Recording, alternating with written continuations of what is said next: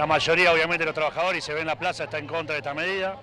Eh, también no, la vemos entendible porque Santa Fe es una de las tres provincias menos endeudadas del país. Ayer salió en Política Online una nota sobre la deuda nacional y de todas las provincias.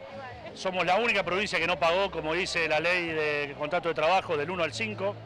Eh, y, la, y la notamos inentendible por todas estas razones, entonces obviamente nos venimos a manifestar por eso. ¿Habrá algún tipo de medida de fuerza si no hay respuesta del gobierno provincial?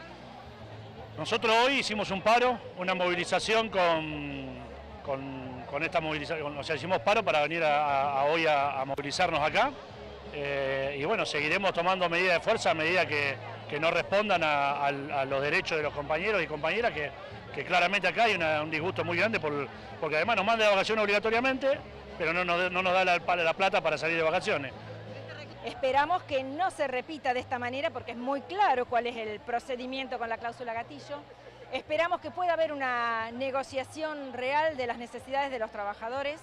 En el caso de salud venimos denunciando desde hace muchos meses la situación crítica con insumos, con la falta de pago a proveedores, con la falta de profesionales, de, de trabajadores en el sector salud, porque eso ha sido también una variable de ajuste, achicar la cantidad de recursos humanos. Así que esperemos poder realmente abrir una negociación eh, clara con las necesidades, con la realidad del sector y ni hablar de lo que es el nivel de salarios y las necesidades de los trabajadores, lo que necesitamos para poder garantizar este derecho humano que es la salud.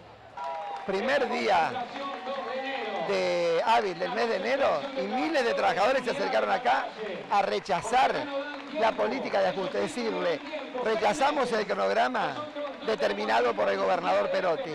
Le decimos, no queremos volver a los, a los 90, basta de ajuste. Y le decimos al gobernador que retrotraiga y que redefina un cronograma que contemple lo que plantea la ley de, eh, contrato de trabajo que tiene que cobrar al quinto día hábil nosotros vemos con mucha preocupación. A esto se le suma que hayan modificado antigüedades a miles de compañeras.